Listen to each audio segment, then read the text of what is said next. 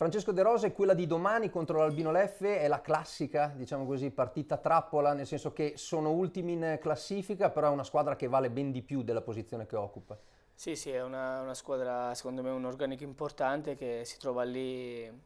per caso e sicuramente anche per uh, dei limiti che hanno in questo campionato, hanno avuto.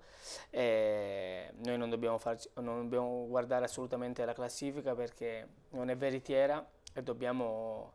andare lì e fare la nostra partita umili, cercando di recuperare i punti persi di sabato perché solo così possiamo raggiungere degli obiettivi importanti ed è quello che vogliamo.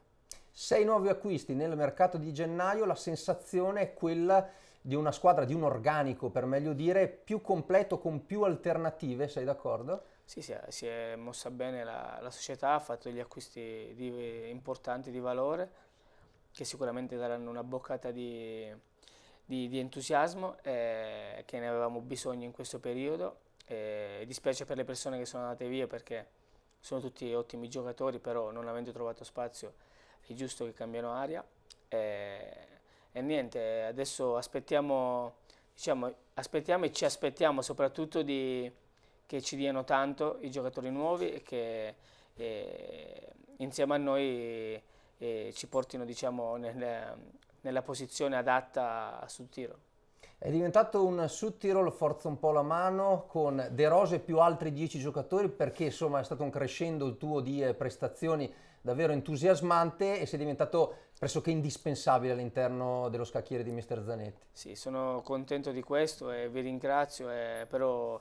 e io ringrazio sempre i miei compagni perché sono loro diciamo, a darmi la forza e l'entusiasmo e questa è una piazza, diciamo, è la piazza ideale per, per, per star bene, per far bene e, e, insieme a loro voglio raggiungere obiettivi importanti perché eh, possiamo farlo, eh, abbiamo i giocatori giusti